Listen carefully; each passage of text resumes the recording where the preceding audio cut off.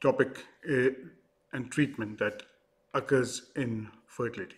Now, the question is Does sperm cryopreservation lead to lower birth rates in normospermic men? And the reason it's asked is many of the donors have normal sperm counts, and this was 7,900 couples with the first cycle with partner sperm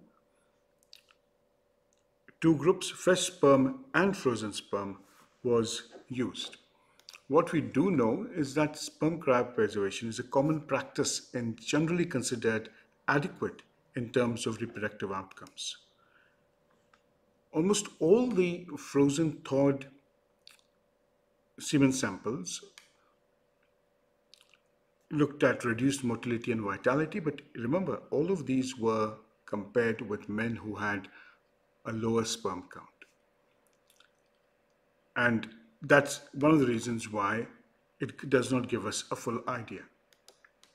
There have been studies, which, including looking at this study, which looked at normospermic patients, have shown that the use of cryo you know, preserved semen does not affect pregnancy and live birth rates after elective ICSI.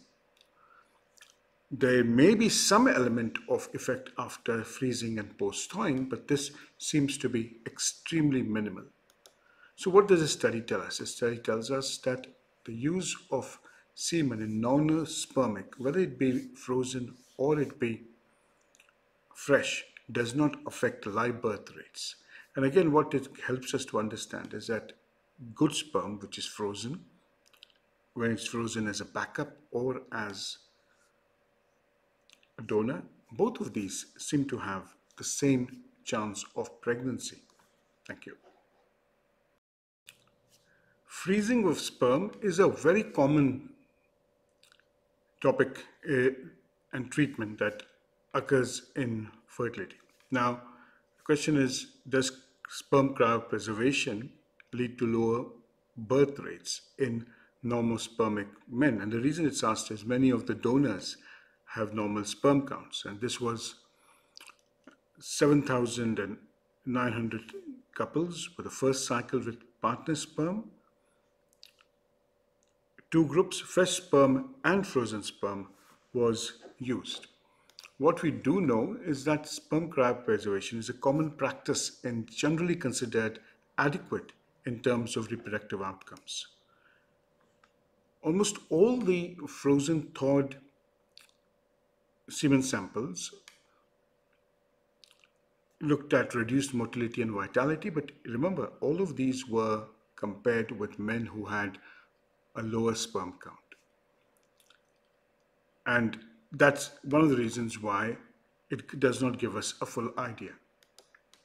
There have been studies, which, including looking at this study, which looked at normospermic patients, have shown that the use of cryo you know, preserved semen does not affect pregnancy and live birth rates after elective ICSI. There may be some element of effect after freezing and post thawing, but this seems to be extremely minimal. So, what does the study tell us? The study tells us that the use of semen in normospermic, whether it be frozen or it be fresh, does not affect live birth rates. And again, what it helps us to understand is that good sperm, which is frozen, when it's frozen as a backup or as a donor, both of these seem to have the same chance of pregnancy.